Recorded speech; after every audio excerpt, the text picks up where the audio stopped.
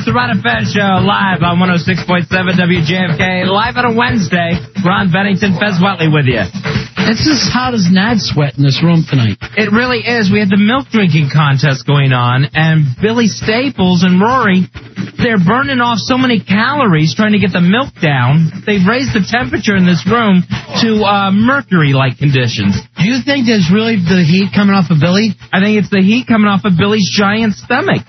That's amazing. Everyone here has ran into his stomach by accident because it's a foot out further than it should be. It's so distended. And, uh, you know, fat objects are closer than they appear. That's bizarre, though, that one person could cause that kind of heat in a room. Look how bad he's sweating. He was sweating it out there at the end. He's actually in worse shape now that he's drank the gallon of milk than when he was when he actually finished it off with a minute ten seconds to spare. Now I got odge. This makes you miss Florida, this heat, doesn't it? really, really does. The swamp. You know what? I think uh, the hottest night I was ever in Florida at a drive-in movie, trying to cool off around there. Did you ever go to the drive-ins in Florida, Fez? Yeah, we used to go when I was a little kid, and then when I was in high school, we would go there to drink. And wouldn't it be hot as hell down there at night? It'd just be awful. Yeah. And, you know, if you got the speakers hooked up to your window, Yeah. you can't have the car on. Well, you yeah. can't have the AC on. You the windows up. And plus, it's like, what, four movies or three movies. You can't sit there and run the AC that long. You're going to run out of gas.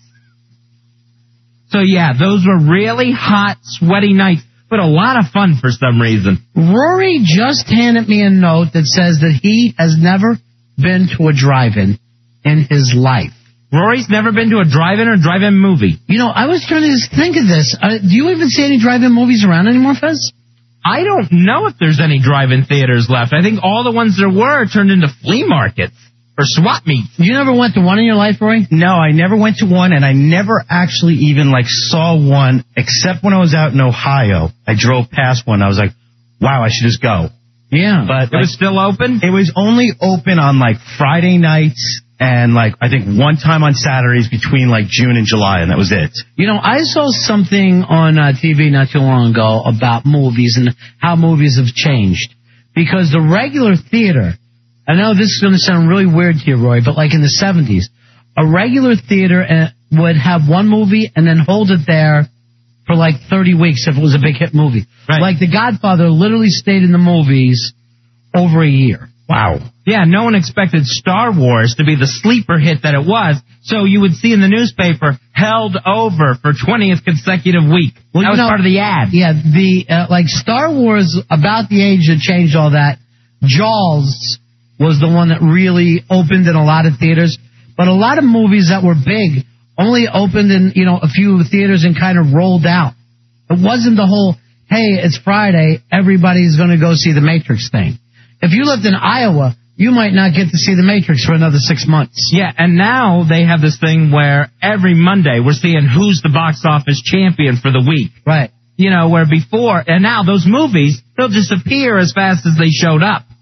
And before movies, if it was a hit, that's how you knew, because it would just stay there in Right. the theater forever. um, and the drive-ins would have a thing where there would be like one new movie and then two or three kind of B movies that you would never even see in the regular theaters. Yeah, they would put those out there. And the, the big movies would actually stay in the same theater for, like Ronnie said, up to 30 weeks, you know, over half a year. Right. So over six months, the movies could have So- been around. Yeah, if you wanted to see a lot of movies, you would go to the drive-in and see like, you know, three or four titles in one week. It would be really cool because they give you something. If you, when I was a kid and we went to the drive-in, of course you go in your pajamas in the station wagon, take your pillows with you because it's going to be dark when you get there.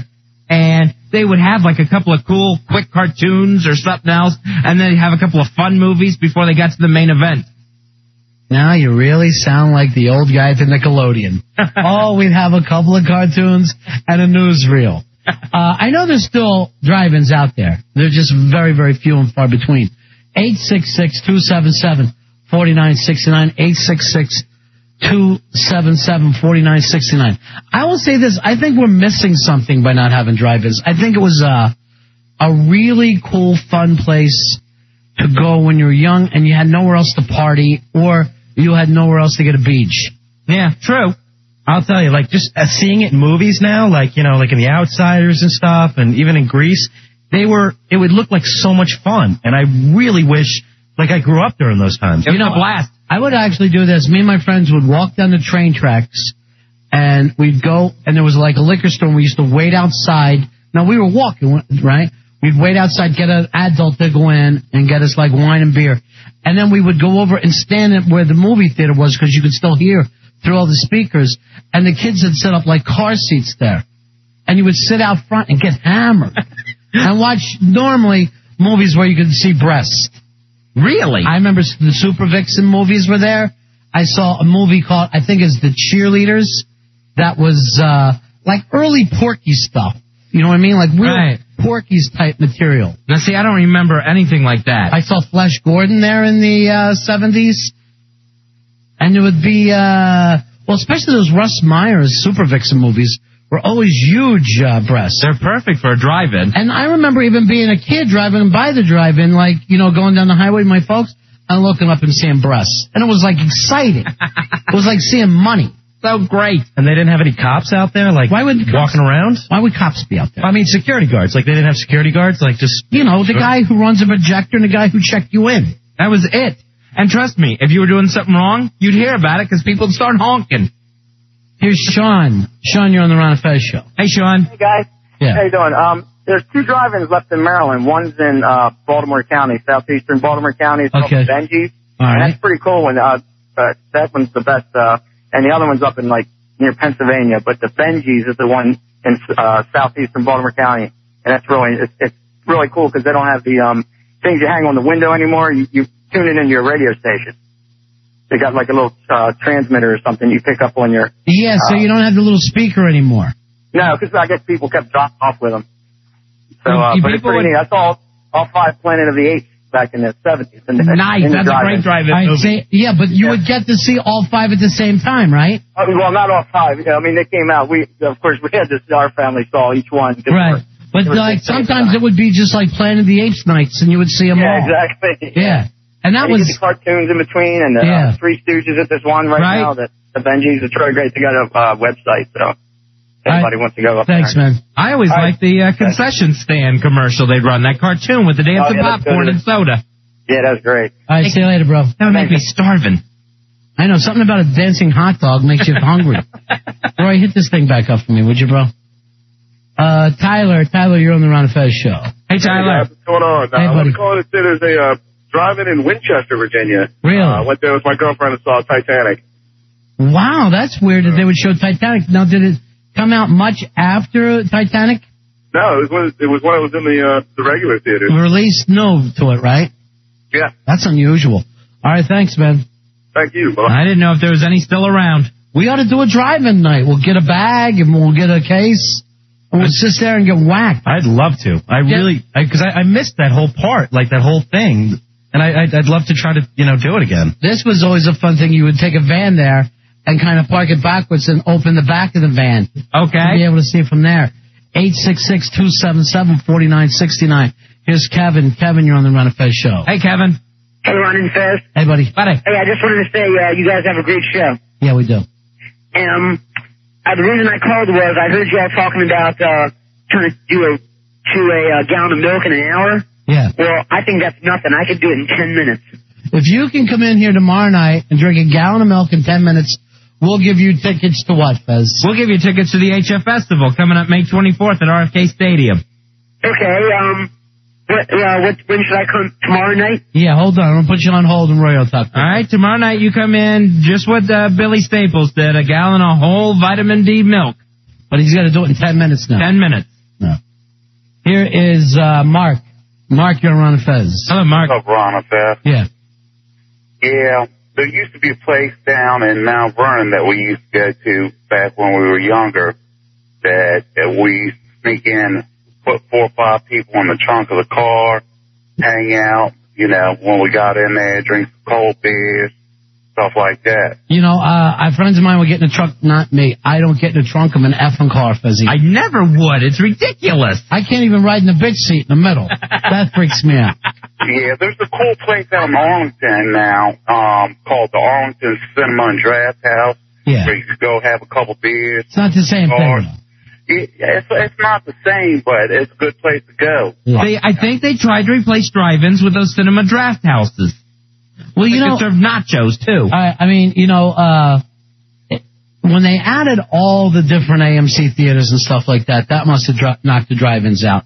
The other thing is, just imagine how much space you take up for a drive-in compared to a theater. Yeah, if you look at the some of the drive-ins around, the ones that I knew growing up, they turned into flea markets.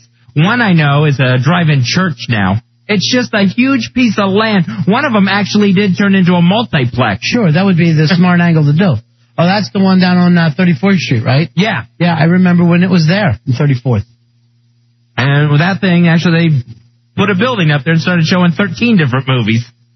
Here's uh, St. Pete Ed. St. Pete Ed, you're on Ron and Fez. Hey, St. Pete Ed. Hey, how's it going, boys? Hey, uh, buddy. really enjoy your show. Yeah, it's good. Hey, uh, want to ask Fez if he remembers the old 28th Street Drive-In down there.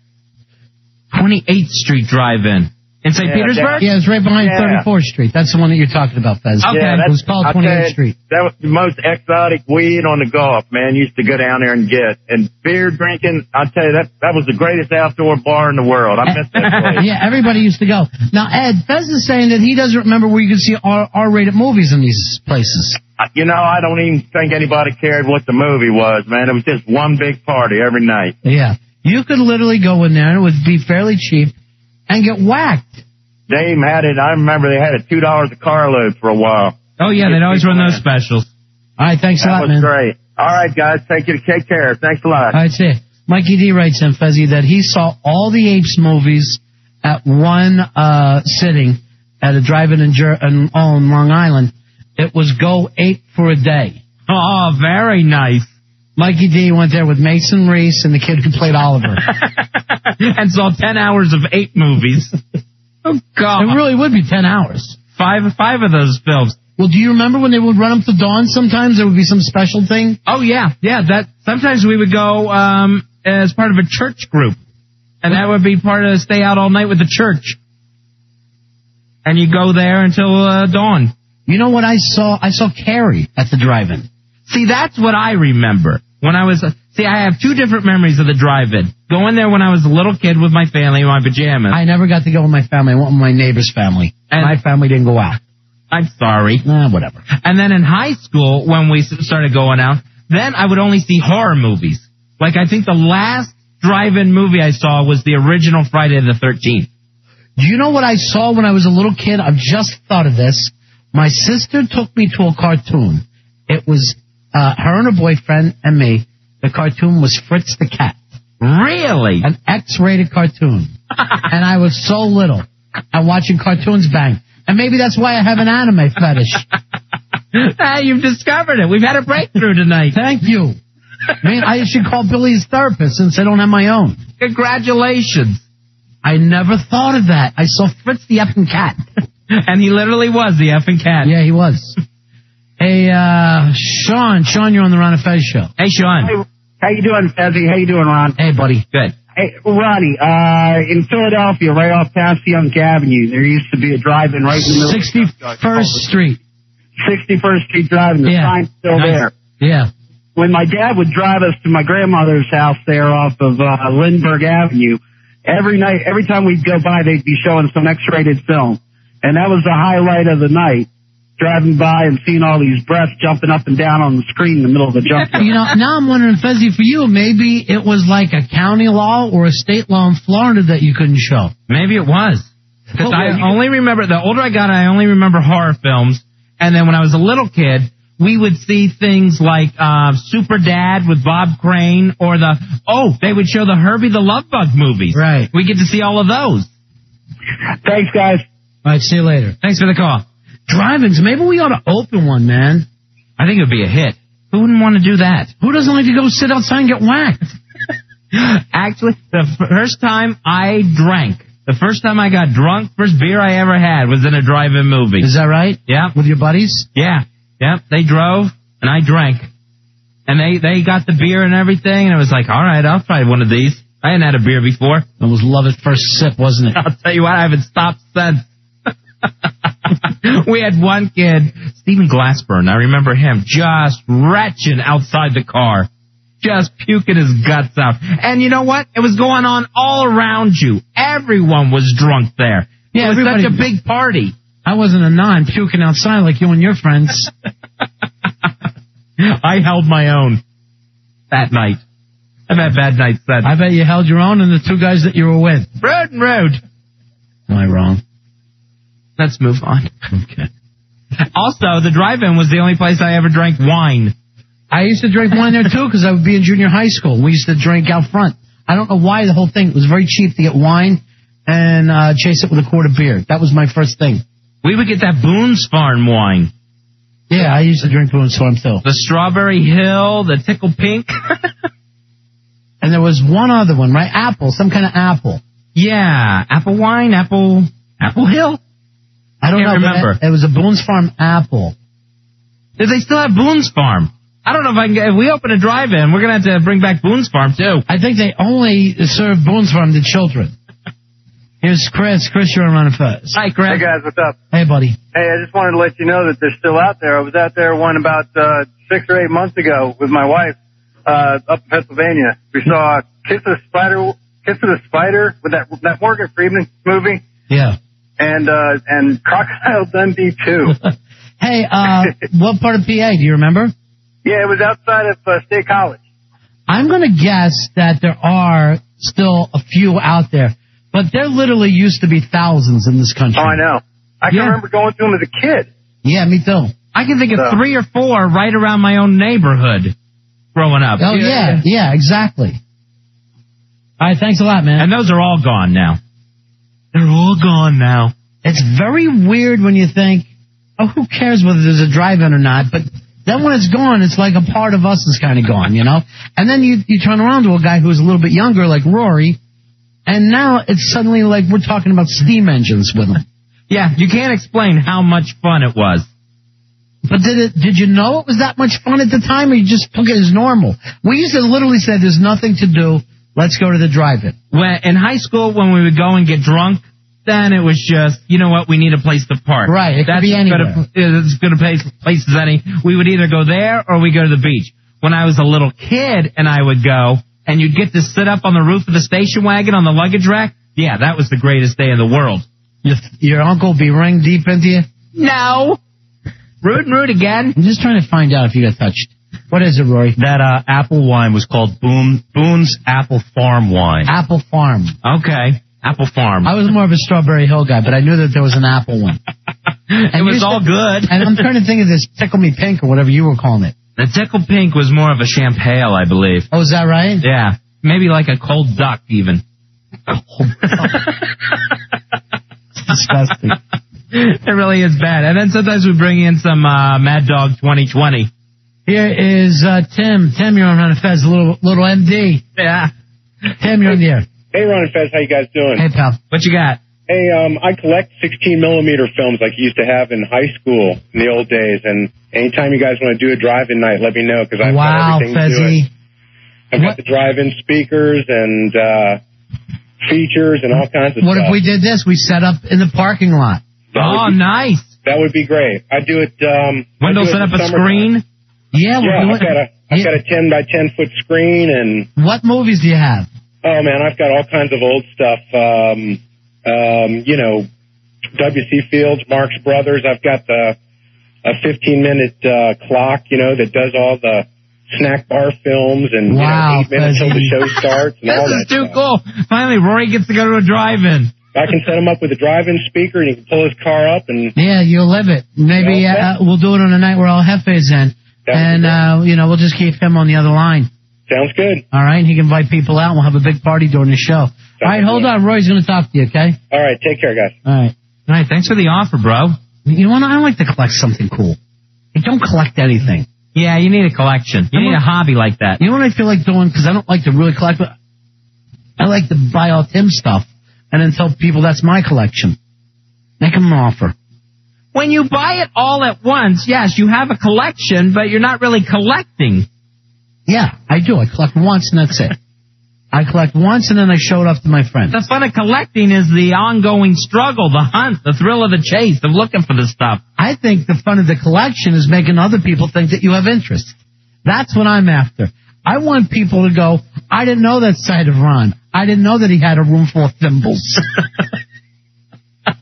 We'll Eight ta- eight six six two seven seven forty nine sixty nine. Let's let El, Fe- El Jefe do his work here. Uh, we'll be right back and end the show. It's the Ron Fez show.